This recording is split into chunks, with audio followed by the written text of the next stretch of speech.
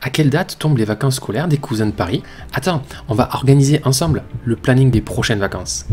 Ici, voilà, ça y est, j'ai trouvé un beau fichier des vacances scolaires, tout prêt à imprimer.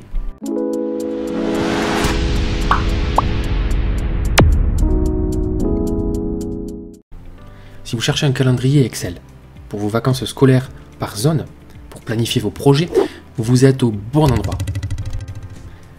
Je vous propose ici un calendrier gratuit à télécharger et qui contient l'identification des numéros de semaine, ainsi que la surbrillance des jours fériés et des week-ends, et bien évidemment nos chères vacances scolaires par zone, A, B ou C. Idéal pour planifier mes vacances familiales. Et en plus, vous verrez, ce calendrier fonctionnera pour tous les ans. Bref, dans cette vidéo, vous allez découvrir comment télécharger ce magnifique calendrier et vous allez aussi découvrir comment vous pouvez le personnaliser.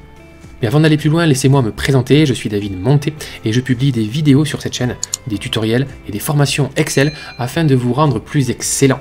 Alors abonnez-vous et laissez un grand like sur cette vidéo. Bon, on arrête le blabla.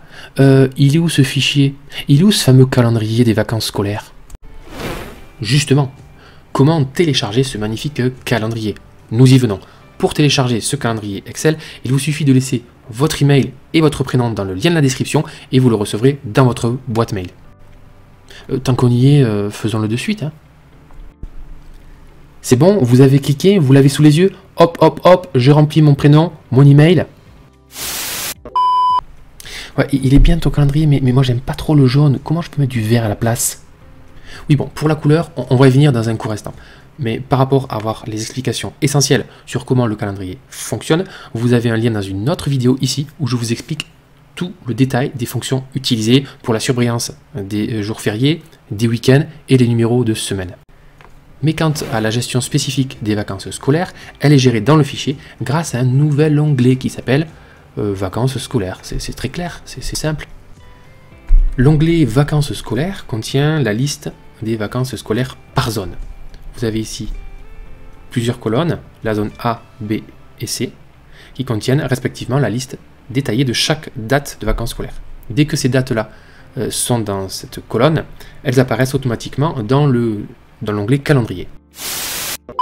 C'est dynamique et puis c'est d'une simplicité aussi simple que la simplicité. Et vous avez des questions, des suggestions?